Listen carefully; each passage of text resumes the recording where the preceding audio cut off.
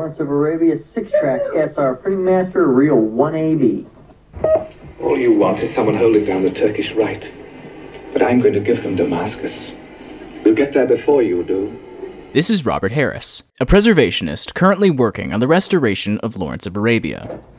The one sequence where he says, and that's the difference, I'm a leader because someone pins crowns on me. This, I think, is it. The year is 1989, and in the decades since the film's release, the sound mix on the original negative has drastically degraded, so much so that it became necessary to bring Peter O'Toole in for an ADR session, over 20 years after he played the role. All right. Play it just a few times, would you? Just keep on whizzing it around till I get it. All you want is someone holding down the Turkish right. But I'm going to give them Damascus. You've probably heard the statistic that virtually half of all films made before 1950 are entirely lost. And this is for a variety of reasons. However, the most significant is the fact that most studios simply didn't see the need for preservation. Film was not thought of as a viable form of art.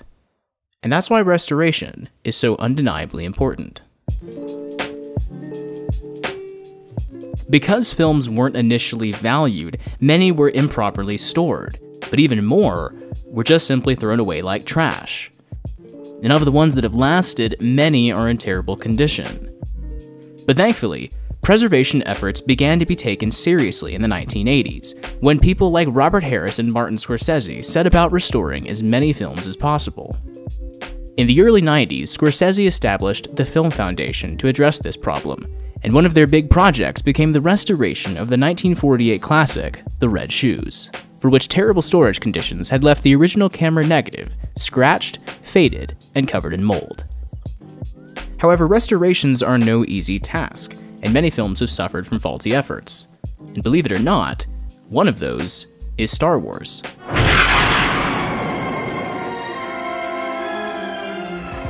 The original 1977 version of the film has become increasingly harder to view due to never ending and, frankly, obnoxious changes inflicted by George Lucas. But behind the scenes, a dedicated group of fans worked for years to restore the film they first fell in love with, spearheaded by a fan named Harmy.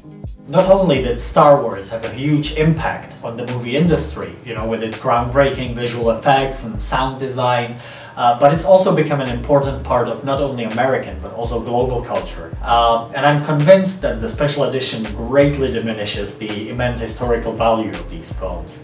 Uh, so I do believe that people should be able to view the original Oscar-winning versions of these films, uh, and that they should be presented in a quality that will do them justice.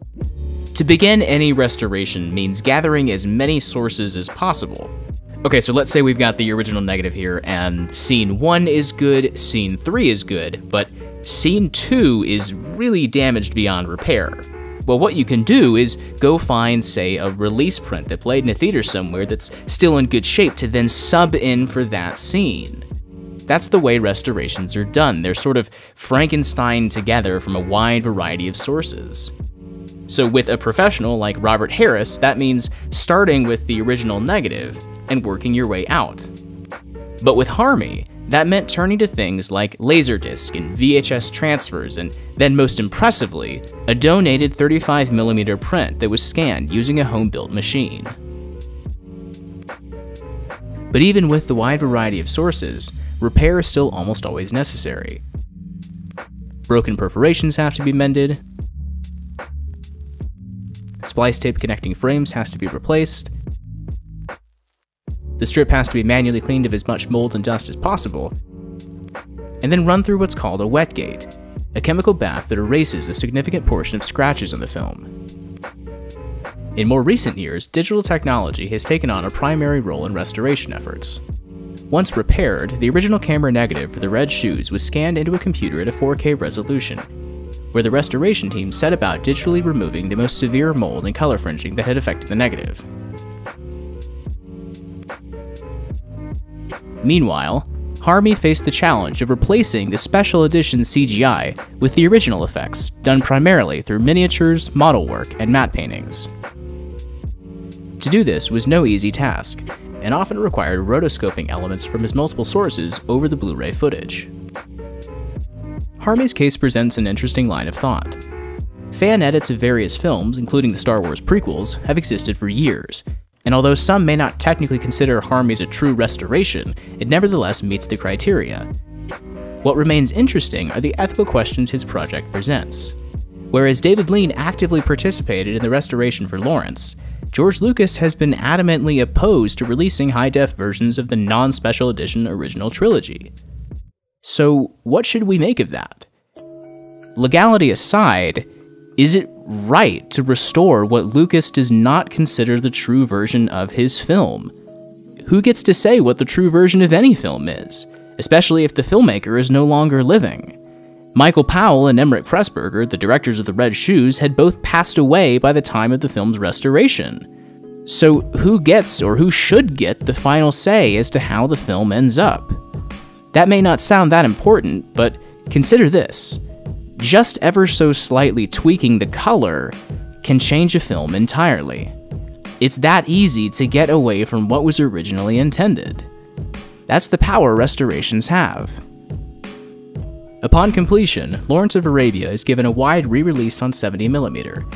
The Red Shoes is screened at the 2009 Cannes Film Festival and later released by the Criterion Collection, and the lovingly dubbed despecialized edition of Star Wars remains available for download. Like anything and everything else in the film industry, restoration has evolved. It may not have been possible to restore the red shoes back in the 1980s when Robert Harris restored Lawrence, and it certainly wouldn't have been possible for a fan like Harmy to restore Star Wars. But digital technology has changed the business, and the democratizing effects of the internet are only now beginning to show. Star Wars was not the first fan restoration, and nor will it be the last. But what ultimately matters, though, are the films themselves. Tossing around a phrase like the unsung heroes of cinema isn't something that should be done lightly or flippantly, or else it would lose its meaning. But for my part, I have no problem ascribing it to people like Robert Harris, Martin Scorsese, and to Harmy. These and others are the people who are quite literally saving cinema.